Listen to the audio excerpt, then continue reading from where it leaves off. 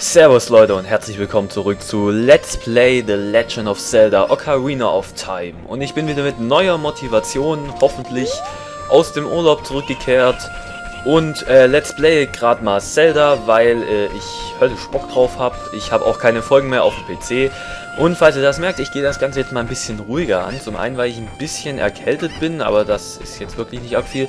Und zum anderen, weil da mein Mikrofon nicht mehr so arg übersteuert, weil, ähm, wo ich mir jetzt mal die letzten Zelda-Folgen angeguckt habe, ist mir nämlich aufgefallen, dass äh, mein Mikrofon sehr schnell übersteuert und ich doch ein bisschen blechig klinge. Wenn ich zumindest mit den Kopfhörern äh, hier, na, wisst ihr schon was, ne? Hier äh, anschaue, genau. Ich überprüfe ja von Zeit zu Zeit auch mal meine eigenen Folgen und deswegen, naja. Äh, jetzt äh, wurde mir hier gesagt, mh, dass wir diese Kästen mit einer Rollattacke zerstören können. Und dann haben wir nämlich schon mal das Huhn raus. Super. Huhn. Alter. Jetzt hört mal auf hier. Äh, Huhn. Du darfst jetzt gern mit mir mitkommen. So, danke dir. Wir müssen nämlich noch, glaube ich, drei Hühner einfangen, wenn ich mich recht entsinne. Oder waren es zwei oder drei? Keine Ahnung. Ähm, aber wir müssen erstmal gucken, wie wir denn am besten die zwei Hühner da hinter den Gitter holen. Weil hinter diesem Gitter dahin, da sind nämlich noch zwei Hühner. Und dazu müssen wir erstmal irgendwie auf dieses Dach drauf.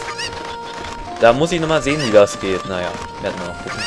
Aber jetzt bringen wir erstmal das Hühn zurück in sein... Äh, das Hühn, genau. Das, das Hühn bringen wir jetzt zurück in, äh, in ihren Stall. So ist, glaube ich, richtig, ne? So. Äh, dann fragen wir die doch gleich mal, wie viele Hühner brauchen wir noch? Moment. Erstmal Huhn reinschmeißen und dann... Asking. Klasse, du bist richtig lieb. Bring doch noch die anderen zwei zurück. Bitte. Okay, dann bringen wir auch die anderen zwei Hühnchen zurück. Ähm, schaffen wir es? Wir schaffen es nicht darüber zu springen, glaube ich, ne? Da müssen wir irgendwie hoch zur Mühle kommen, aber frag mich nicht wie. Vielleicht hier durch das Haus? Wer weiß? Ach du Scheiße. Ja, da kommen wir auf jeden Fall. Wir sind jetzt übrigens gerade in Fragezeichen, ne? Also nur mal so.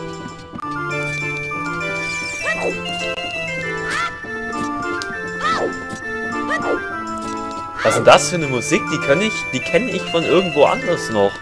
Nicht nur von Zelda hier, wo ich die nicht mal von Zelda gekannt habe. Äh, ah, dieser Fuzzi hier. Was sagt denn der? So. Ich mag es, im Rhythmus dieser Mühle Musik zu machen. Das macht riesen Spaß. Ich liebe Musik. Ich liebe diese Mühle. Ich will selbst einmal etwas komponieren. Vielleicht eine Melodie, die von der Mühle oder vom Wind erzählt. Ja, äh, das kannst du gerne mal machen, ne? Also, pff, ich kann mir nicht vorstellen... Na gut, okay, was soll's. Künstler sind ja generell alle verrückt. Das ist ja so eine Grundregel auf der Welt. Alle Künstler sind verrückt. So, ähm... Um ehrlich zu sein, habe ich jetzt nicht wirklich eine Ahnung, was wir hier denn jetzt machen können.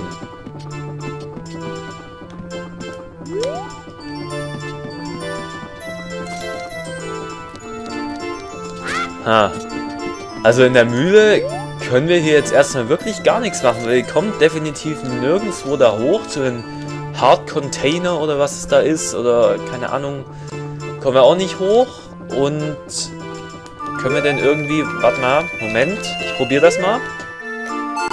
Ah, ich will jetzt hier nicht... Ich will nicht die Ocarina spielen. So.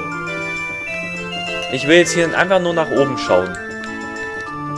Diese Steuerung wird mich eines Tages noch umbringen, das sage ich euch, ey. So, jetzt hier raus, bitte. so, danke dir. Äh, ne, da hoch kommen wir. Irgendwie habe ich so das Gefühl, dass wir nicht da hochkommen. Äh, den wollte ich jetzt eigentlich gar nicht ansprechen, weil das haben wir ja schon in der letzten Folge gemacht. So. Kannst du mich mal wieder aus dem Weg machen, du scheiß fetter Sack? Auch Fettsack genannt. So. Ähm, von hier kommen wir auch nicht zur Mühle hoch. Das ist ja schon mal sehr geil. Okay. Dann werden wir auf den Friedhof gehen. Mir wurde ja auch in den Kommentaren gesagt. Übrigens nochmal danke an die, die regelmäßig hier Kommentare schreiben und so, ne? Aktive Abonnenten sind ja immer schön die wichtigsten. Und das ist auch gut, dass ihr das so macht. Ähm, mir wurde noch gesagt, dass wir auf dem Friedhof zwei interessante Dinge sehen, äh, finden können. Da sind wir jetzt ein paar kleine Spoiler, aber ich habe so mit Spoilern jetzt nicht unbedingt mein Problem in einem Rollenspiel. Weiß ja nicht. Oh, schönes Pisswetter. So, können wir irgendwie dahinter, da ist nichts mehr. Wir suchen einfach mal den ganzen Friedhof ab. Vielleicht finden wir irgendwas, womit wir dann die Hühner überzeugen können, mit uns zu gehen. Boah, wer weiß, ne? Kann ja sein.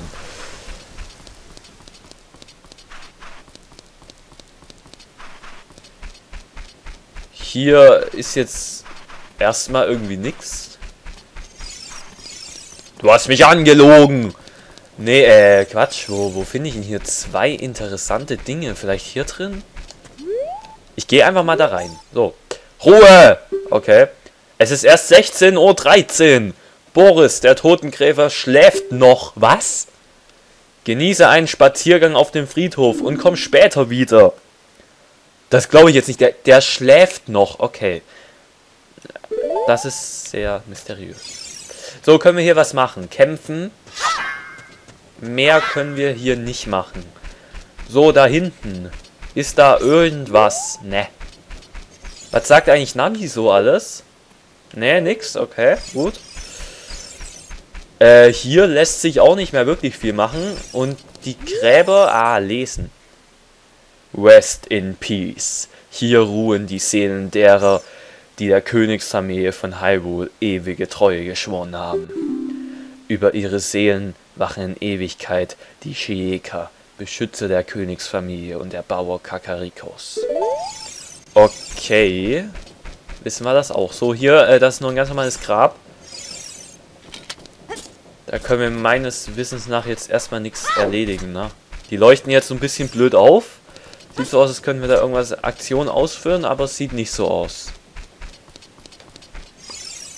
Nee, mit Gräbern können wir leider nicht sprechen. Wir probieren hier am besten mal alle Gräber durch. Vielleicht verpassen wir ja irgendwas, ne? Nee, auch nichts. Aber die leuchten ja so merkwürdig auf. Also irgendwas muss da auch dahinter sein. Okay, was ist das hier? Sieht so nach einer Mulde, so ist ein Arschloch von so einem Laubkerl. Irgendwie. Nee, ist nix. Also, um ehrlich zu sein, bin ich jetzt zu doof oder so, hier was zu finden? Oder... Boah.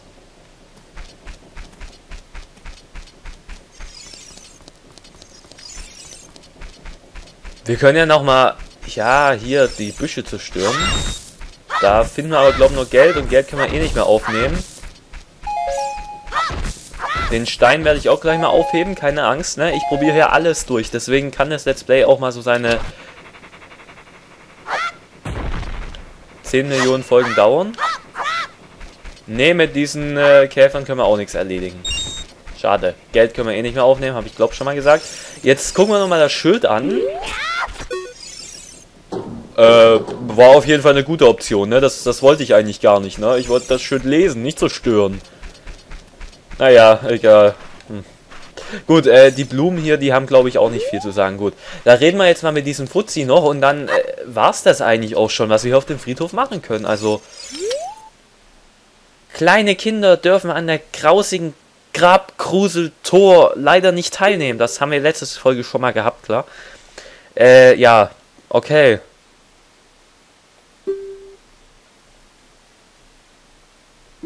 Doch, du siehst schon ziemlich merkwürdig aus. So bleich wie so ein Gamer. Ja, und auch so hobbylos. Ja. Ich glaube, den Witz habe ich in der letzten Folge auch schon mal gebracht, oder? Der war auch sehr flach. Egal. so, weiter geht's. Wir äh, können auf dem Friedhof, wahrscheinlich können wir da was machen, aber ich habe keine Ahnung wie. Aber ähm, wir werden jetzt erstmal hier diesen Kasten zerstören. So, da ist besonders viel drunter.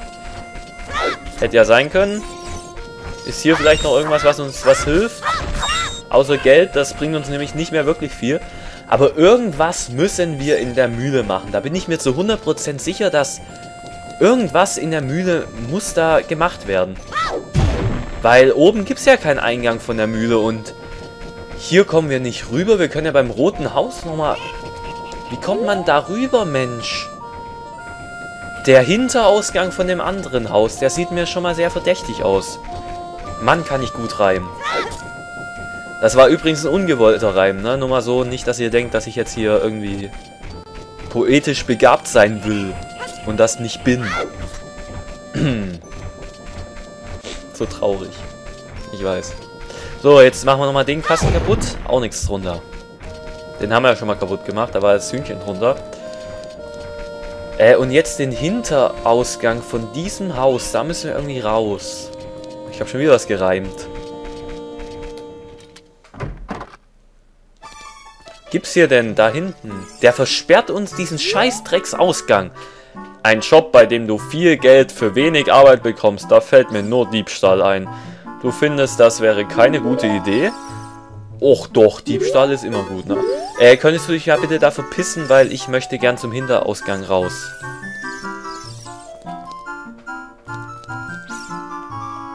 Ach, wisst ihr was? Ganz Kakariko kann ich jetzt mal genüsslich am Arsch lecken.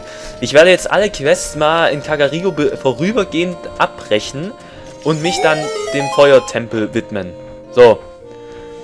Oh, das scheint in der Tat. Es ist Zeldas Handschrift. Äh, das scheint. In der Tat, es ist Zeldas Handschrift. Lass mal sehen. Hm, na gut.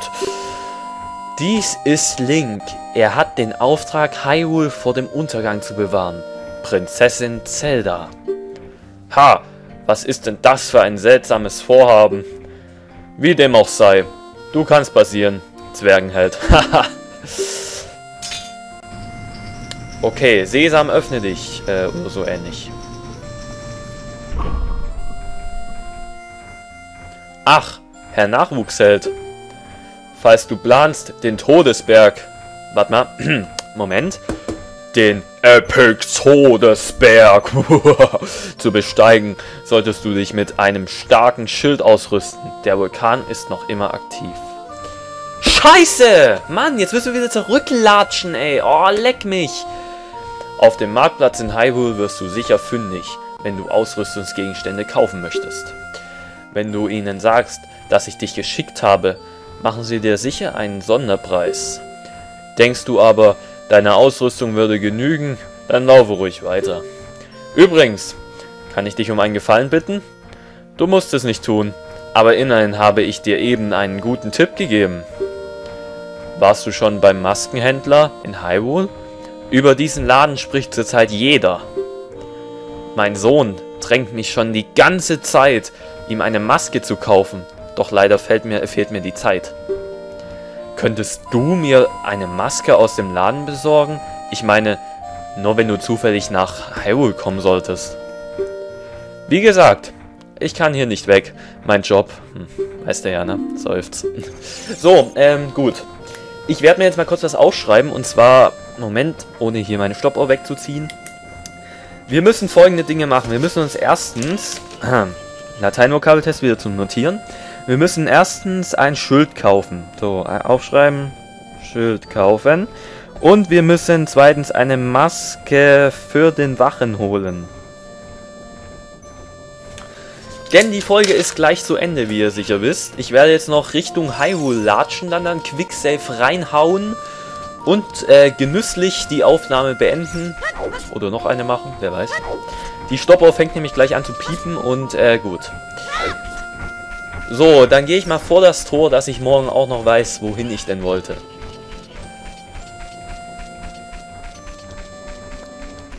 So, hier hauen wir mal ein Quicksave rein.